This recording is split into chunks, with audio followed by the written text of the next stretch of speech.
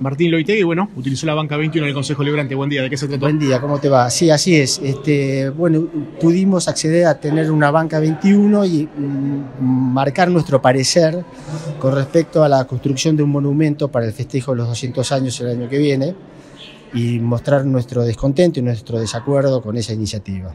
¿En, qué se basaban en este eh, bueno, el fundamento es el, el, monto excesivo de gastar 70 millones de pesos en una obra que digamos que no mejora la calidad de vida de los tandilenses, básicamente es eso, es aumentar el déficit fiscal de la, de la comuna, es este, no, no, consultarlo con los, con los votantes, con, lo, con, los este, ciudadanos, eh, darnos un mal ejemplo en el uso de, de, los fondos públicos, del concepto del ahorro, de tener una, una gestión este, lo más razonable posible. Eso fue el motivo nuestro de estar acá presentes hoy. Y la idea de ustedes es directamente que no se haga nada y, y con esa plata se puede utilizar para otra cosa. No, ¿Proyectan o, o no? Pr primero que, que, creo que hay tantas necesidades este, en Tandil que esos fondos podrían ser utilizados para otras cosas puntuales, como por ejemplo el transporte de las escuelas rurales, que no está siendo bien atendido.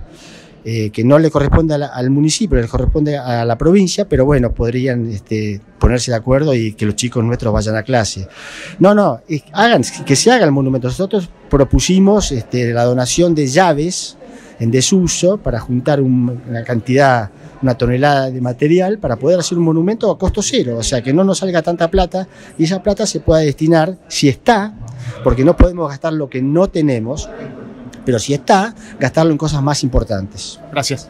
al contrario.